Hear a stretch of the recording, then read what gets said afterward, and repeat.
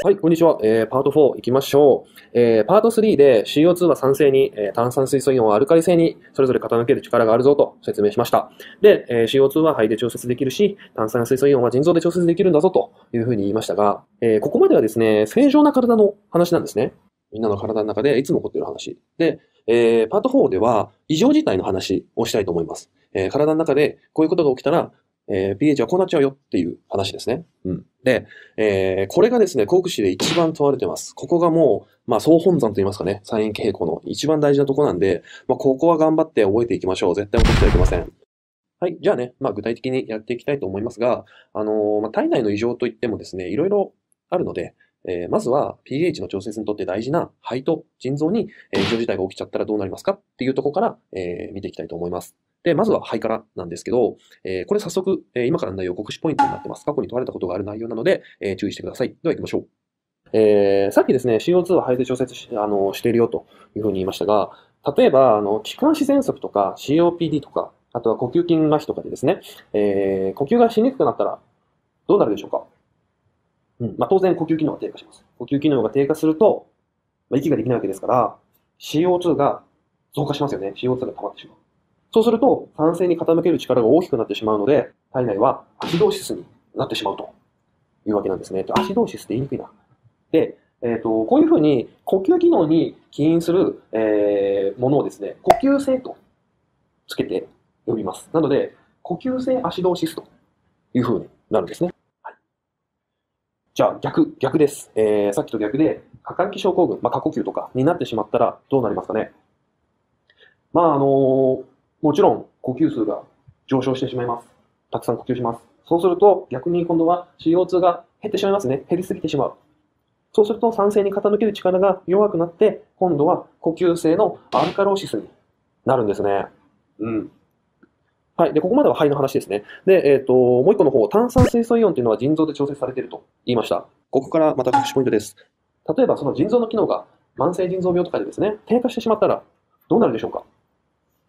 えーパート3を思い出してください。え腎臓は炭酸水素イオンを作ったり、再吸収したり、調節する機能を持ってました。うん。その機能が失われるので、えもちろん炭酸水素イオンが減ってしまいます。えそれだけじゃなくてですね、体内の余計な酸を、酸性物質を、え尿の中にね、排泄するっていう機能も腎臓はありました。それもできなくなっちゃうので、え体内が酸性に傾いてしまって、当然、水素イオンが増えていきます。そうすると、えー体の中はアシドーシス状態になってしまうわけですね。うん。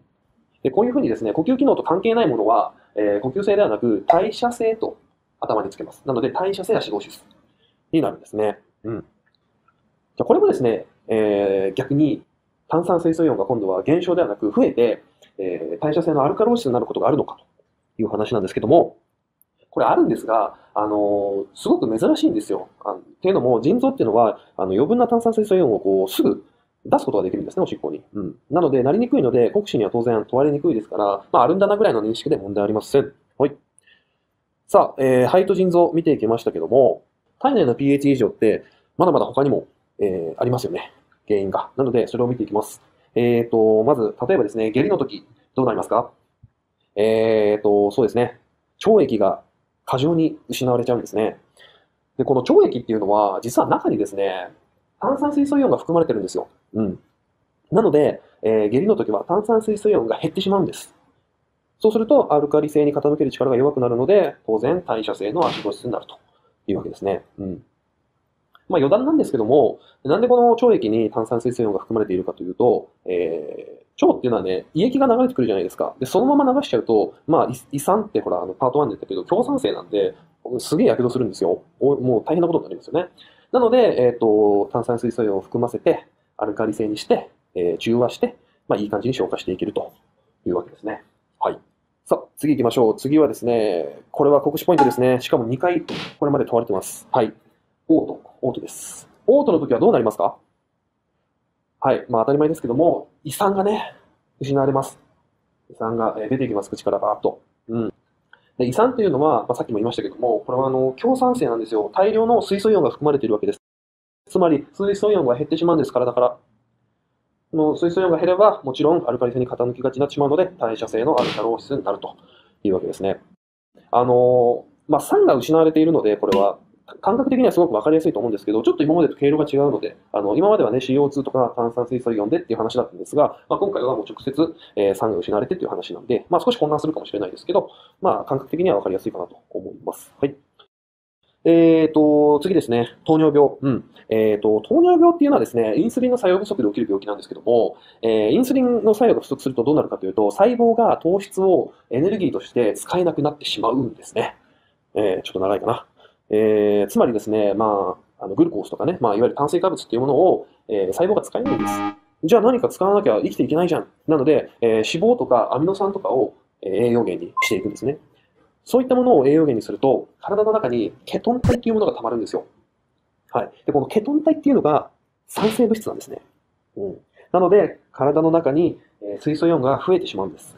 まあ、当然そうすると代謝性のアシドーシスになるというわけですね。で、この場合はですね、原因がケトン体なので、えー、ケトアシドーシスと特に言う時もあるので気をつけてください。